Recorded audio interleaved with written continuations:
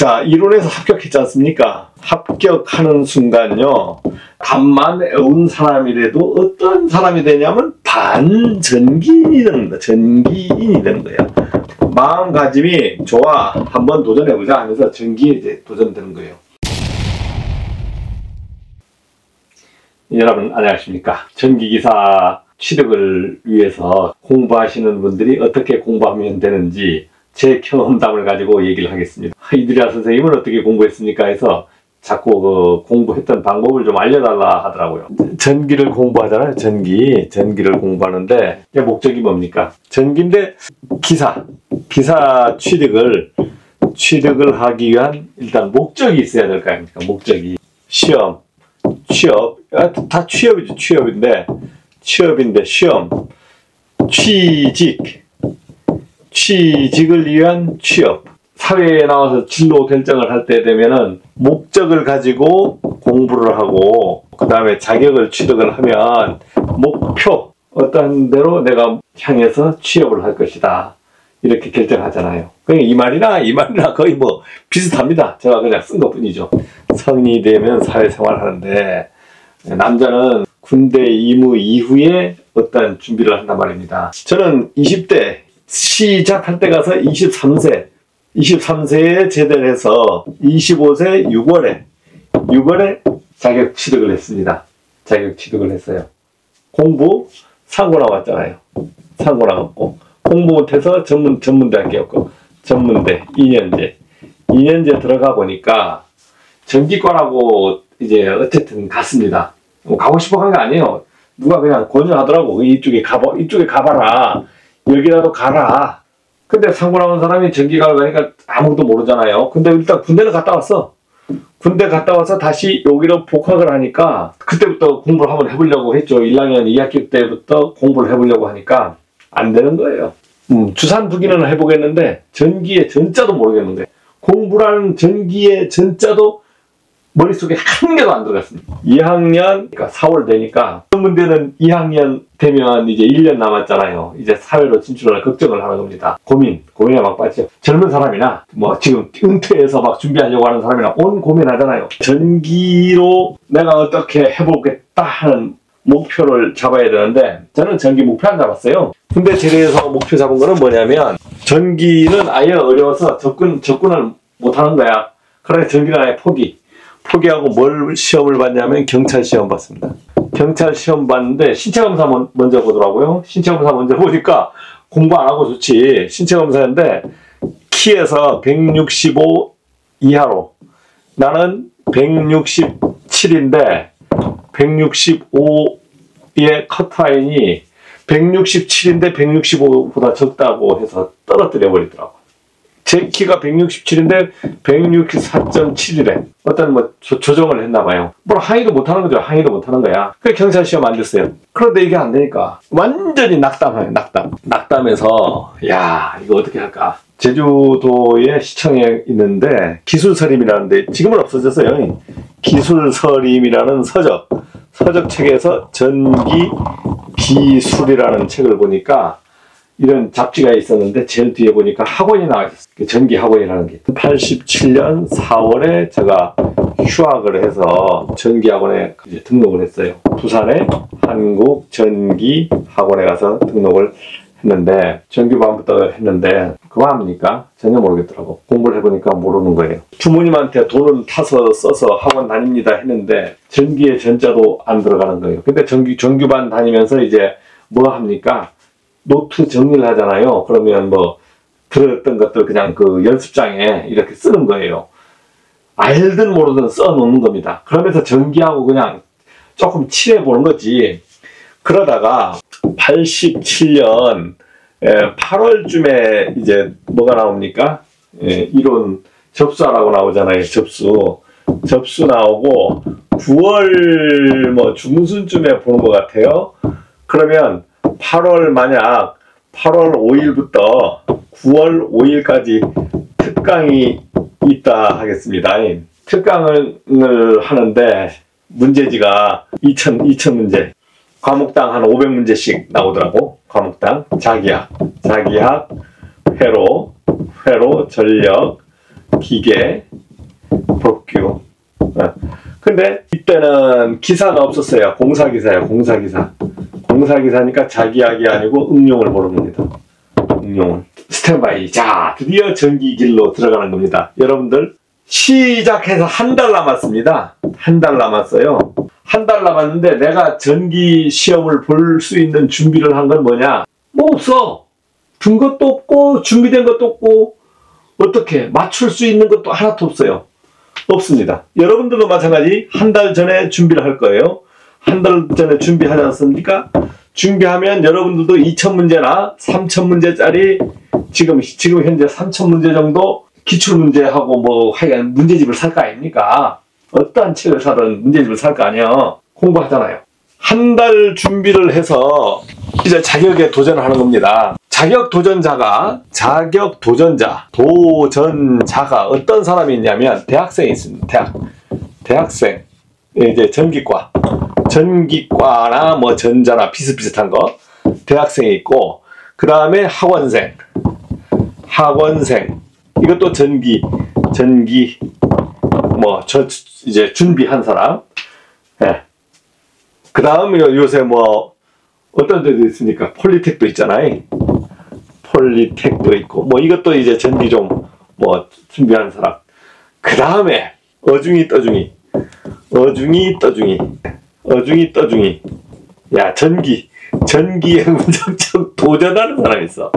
저는 어디에 속했습니까? 여기에 속했죠. 그러니까 여기에 속한 사람도 모르면 모르면 어중이 떠중이에 들어가는 조건이 뭐야? 여기서 전부 한 달을 가지고 준비를 하는 겁니다 한 달 한 달을 가지고 준비를 하는데 내가 이론 정립이 되어 있냐 이론 정립이 되어 있냐 이론 정립 이론 정립 어느 정도 된 사람들이 뭐 10% 될까요 중간 뭐 이것도 아니고 어중이 어중이 이것도 어중이 뭐 떠중이 뭐 떠중이 떠중이 뭐 이거 뭐 뭐 40% 합시다. 그 다음에 꼴통. 꼴통이라고 하지. 꼴통이 50%, 50, 50%.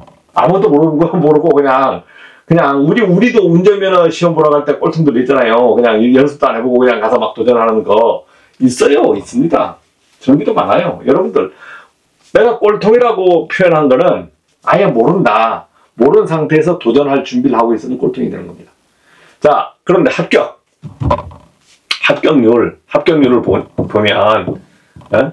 여기서 50%가 합격하고 여기서 50%가 합격 나온다고. 시험에서 합격하는 것은 자격, 자격 시험은 자격 시험 있잖아요. 자격 시험은 어떤 겁니까? 몇 명에서 몇 명만 합격시킨다고 하는 게 아니잖아요. 몇 점만 맞으면 된다. 60점 이상이면 된다. 이상이면 이상이면 누구나 준다는 거 아니야. 누구나. 그러니까 60점 이상이면 누구나 준다 하는데 60점 이상 맞추려고 그거에 목표를 가지고 공부를 해야 되는데 남들을 제껴서 내가 올라가는 공부를 하겠다 하면은 떨어지는 거예요. 그러면 파야 되는 거예요. 남들을 제껴서 올라간다는 거 하면은 파야 돼. 그때는 엄청나게 깊게 파야 되지. 제끼려고 하니까. 근데 OX 문제로 저쪽에 끼는데 그냥 끼려고 하면 눈치만 잘 보면 되는 거예요. 그러니까 어떻게 자격 시험은 어렵게 하면 안 된다. 어렵게는 안 된다. 어렵게 어렵게 하는 순간 이건 떨어져 탈락이야 탈락. 탈락. 그럼 어떻게 쉽게 해야 된다. 쉽게. 이것이 이것이 합격 지름길입니다. 합격 지름길. 네. 자, 합격 지름길. 기사 자격을 준비합니다. 기사 자격을 준비해요. 뭐 기술사 같은 경우는 저도 기술사 자격을 시험 한참 다니다가 저는 8개월 만에 포기를 했어요. 요거 8개월 만에 포기를 했는데 보통 한 4년 뭐 아니 빨리 하는 사람 빨리 할 수 있지만 보통 4년 준비해야 돼요. 기술사는 뭐 이 기사하고는 전혀 틀려요. 그래서 기술사는 땄다 하면 인정해줘야 돼. 왜? 머리에 엄청난 양의 요 뭐야 어렵게 공, 공부한 게 들어있거든. 기술사 분들은 뭐 일을 못하든 돈을 못 벌든 뭐가 되든 간에 존경해 드려야 됩니다. 왜? 그건 당연해요. 그런데 우리는 기사지 않습니까? 자, 기사를 따기 위해서 어떻게 준비합니까? 1개월 만에 준비, 1개월, 1개월 만에 준비를 하는 겁니다. 1개월 만에 준비를 해요. 1개월 만에 준비를 해서 시험을 보려고 하면 어떻게 해야 됩니까? 여러분들, 1개월 만에 준비하잖아요, 다. 3, 4개월 준비 기간 있어. 그거는 헛방이라고, 헛방. 그건 그냥 마음의 준비지. 그냥 그 차도 한 잔 먹고 막 하면서 준비하는 거잖아요. 1개월 만에 준비를 하면서 지금으로 치면은 3천 문제를 외우는 겁니다. 3천 문제. 3천 문제에서 기출, 기출, 예를 들어서 기출 문제. 여기서 똑같은 게 나오는 것이 만약에 60점짜리가 60점이 나왔어. 그 다음에 신출, 신출. 요게 40점이 나왔다, 진짜. 아. 근데 이렇게 안 나와요. 아. 기출이 80이고 신출이 20이야, 20. 그러면 신출 20은 틀리고 기출 80에서 60점을 만들어 가는 거죠. 그런데 신출도 40점도 안 됩니다. 거의 기출이 다 나온다고 보면 돼요. 무슨 말이냐? 그러면 신출, 하는 거는 필요 없고 기출, 내가 기출로 따져야 돼. 그러면 기출을 여기서 100문제, 100문제를 나오면 여기서 내가 몇 점을 60점 이상이면 되는 거잖아요. 60점 이상. 이상이면 합격이야. 99점을 그러니까 맞으나 90점을 맞으나 60점 맞으나 똑같은 합격이다 이거지. 그러니까 내가 60점 목표로 가는 겁니다. 이 60점을 맞추는 건 뭘 맞추는 겁니까? 답을 맞추는 거잖아요. 답. 답. 1, 2, 3, 4를 골라가지고 답을 맞추는 거 아니에요. 요게, 어? 요게 33.3, 33.3개씩 골고루 분포가 이렇게 대주면 저, 좋을 수도 있는데 거의 비슷하지만 어떤 게 요게 20점만 나올 수도 있고 4번이 40점 나올 수 40점의 배치가 나올 수도 있지 이렇게 나올 수도 막 있어요. 저 공부 방법은 공부 방법을 택하는데 1번 푸는 거 플러스 이해 위주로 한다. 그 다음 2번 푸는 거 이해는 모르고 답을 좀 외운다. 다. 그 다음에 3번 아 이거 푸는 거 이해 다 모르겠고 답, 답, 답만 외운다. 아. 공부 방법이 제일 쉬운 방법은 어느 거냐면 쉽다. 이게 제일 어려워. 아, 이건 중간이지 그러면. 3천 문제를 한 달, 한 달 안에 어쨌든 공부를 해서 100, 100문항 중에서 60문제를 맞추고 그 중에 한 과목이라도 40점 이내로 떨어지면 안 되는 거예요. 그러니까 여러분들은 지금부터 이것을 공부하는데 자기야, 자기야, 회로, 회로, 전력, 전력, 기계, 법규 이렇게 있잖아요. 자, 지금부터 자신 있는 분은 공부하십시오. 음, 저는 이제 이것도 X, 이것도 X, 이것도 X. 요거 좋아. 나는. 저는 3번을 택합니다. 네. 한달 남긴 와중에는 아무것도 필요 없어요. 아무것도 필요 없어요. 일단 답을 외워야 됩니다. 답을 외워야 돼. 답을 외우, 외우다가 푸는 거든 이해든 여유 있으면 이 위로 올라가는 겁니다. 푸는 거 먼저 하고 이해하면서 여유를 찾을 때 답을 내우려고 그래요. 이러면 떨어지는 거예요. 모든 것은 답을 내오는 겁니다. 뭐 이유도 뜻도 몰라요. 답만 내오는 겁니다. 답이 0.637이라고 있는 답이 답이면 내가 답이고 6.37도 답이고 63.7도 답이다. 이런 게 있다. 그럼 이게 답이에요. 그냥 이런 숫자를 외워버리는 겁니다.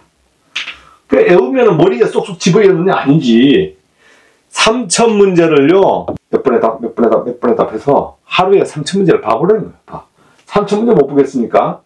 그냥 뭐 그냥 아니 뭐 이유도 모르고 답만 그냥 답만 보는 거야. 답. 그리고 또 한 번 또 돌아봐. 또 답을 봐. 아, 10번 보면요. 그 답 다 외워버립니다. 내 머리가 그냥 모르겠어 그냥 이렇게 했는데 시험장 가서 딱 시험지 딱 받아보면 이게 다 보이는 거야. 이게 다 보여. 다 보여. 이야. 뇌 속에 잠재적으로 들어있다가 이게 싹 보여버립니다. 그냥 기본이, 기본이 65점이 나와버려. 3번으로 나간 사람은 뭐 다섯, 여섯, 여섯 번에서 뭐 열 번을 보거든 다섯 번 이상만 봤다.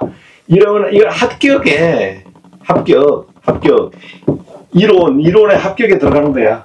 자, 1번으로 푸는 것을 먼저 하고 이해를 한 다음에 내가 답을 내오겠다. 이거는 99%가 다 떨어져요. 다 지쳐 떨어져. 지쳐 떨어져. 내가 푸는 것도 하고 뭐 하다가 답을 좀 외워보겠다. 숫자 푸는 거는 뭐 계산기 두드리는 걸 좋아하는 거예요. 계산기 두드리는 게 이 100문항 중에 몇 문항 나오겠습니까? 계산기 두드릴 게 없습니다 거의. 몰라요. 계산기 내가 칠 거 나왔다. 그러면 내가 못 푸는 거 나와 못 푸는 거 나와. 그러니까 계산기 칠 필요가 없는 거지. 자격증을 딸 거 아닙니까? 내가 원하는 건 자격증이지. 내가 푸는 거 이해하는 것을 어떻게 하려고 하는 게 아니잖아요. 자격이라 이거지. 자격증 딴 후에 푸시라니까. 여러분들 운전면허 공부하잖아. 벼락치기 공부하고. 근데 자격증 운전면허증 받으면 뭐 무슨 내용 압니까? 알아요? 돌아보면 알아요? 기억납니까? 하나도 안 하잖아요. 그럼 차 주면 차 운전하잖아요. 전기기사도 마찬가지입니다. 자, 1호는 이렇게 땄어. 1호 땄다고 됩니까? 안 되잖아요. 1호 땄다고 돼요? 안 되잖아, 1호. 자, 1호를, 1호를 합격합니다. 합격해서, 뭐 61점 맞고 합격했어. 근데 까막눈이야. 까막눈. 자, 실기 접수 가능해. 실기 접수는 뭐 하는 사람들이 볼 거 아닙니까? 실기 접수를 했어. 자, 실기 접수하면 이론, 내가 이론에서 공부했던 게 공부했던 게 무용지물이다. 한 개도 필요 없어요. 다시 해야 돼. 다시. 실기는 다시 해야 되는 거예요. 자, 실기. 자, 이론에서 공부했던 것은 발전소부터 발전소, 송배전, 뭐 배전설로 뭐 쭉쭉쭉 나오잖아요. 뭐 송전설로 배전설로 조금 나오겠지. 이러나 이론 이론 이론 부분하고 실기 부분은 전혀 내용이 틀리게 나와요. 그러니까 자 이론에서 합격했지 않습니까? 합격했어. 합격하는 순간요. 내가 답만 외운 사람이라도 어떤 사람이 되냐면 반전기인이 되는 거야. 전기인이 되는 거야. 그러자 마음가짐이 마음가짐이 좋아 한번 도전해보자 하면서 전기에 이제 도전되는 거예요. 기사 자격은 이론하고 실기를 해서 단번에 된다 해도 8개월 정도 걸립니다. 8개월 정도 걸리는 거예요. 뭐 1년 만에 딴다고? 그, 그, 그, 딴 사람 있지. 그러면 실기는, 실기는 어떻게 합니까? 실기는 이것 또한 답을 내오는 겁니다. 외운다. 근데 실기는 여러분들이 공부해 보다 보면 이론하고는 전혀 틀려요. 이론은 자기학 같은 거나 기계나 도저히 이해가 안 돼. 그러나 우리 자동차 운전 해보면 이해되지 않습니까? 도로 교통법을 내우는 데는 이해가 안 되는데 자동차 줘서 운전해 보면 이해가 돼. 그러니까 실기는 공부하다 보면 말로 이렇게 유연하게 써지고 그런단 말입니다. 그러니까 이해가 되는 거예요. 그러면서도 답 외워야 될 부분도 있어. 그럼 실기도 도전하면서 도전하면서 해보면 이것 또한 한 달 만에 한 달 만에 답을 누가 많이 외우느냐 자 실기도 마찬가지 실기도 실기도 실기도 몇 점입니까? 60점을 맞추는 이상 맞추는 거잖아요. 그러니까 모르는 거 다 틀려버리면 되는 거야. 외워진 것만 가지고 60점을 만들어가는 겁니다. 그렇게 해서 내가 자격증을 얻었어. 자격증을 따, 취득했어. 자, 이렇게 해서 취득한 사람들이 도전자의 30%. 많으면 30%입니다. 그러니까 여러분들이 이 30%에 끼려고 하면 내 마음가짐을 어떻게 해야 되냐면 내 욕심 모든 것을 다 버리고 내 나는 모르니까 그래 다 배우는 대로 가자. 답을 내오면서 쉽게 가자. 자격증을 취득하고 나서 그때부터 공부하는 겁니다. 그때부터 공부를 해요. 공부. 예, 어떻게 우리가 공부한 것을 발전소, 변전소, 송전탑 공부한 거 씁니까? 안 쓰잖아요. 그러니까 그때부터 실무에 필요한 실무에 필요한 공부를 하는 겁니다. 실무에 필요한 공부를 해보면 내가 배우고 이론에서 배우고 실기에서 배우고 했던 거. 아 그러면 내가 이론하고 실기 공부를 많이 했어요. 해서 이론에서 실기하고 공부를 많이 했어. 이론 플러스 이론 플러스 실기 실기해서 자격증을 취득했습니다. 자격증을 취득했어요. 취득했어. 이걸 가지고 취업을 합니다. 취업을 해요. 그럼 여기 여기 안에 들어온 것을 써먹을 것이 몇 프로 있냐? 1%입니다. 1%. 1%.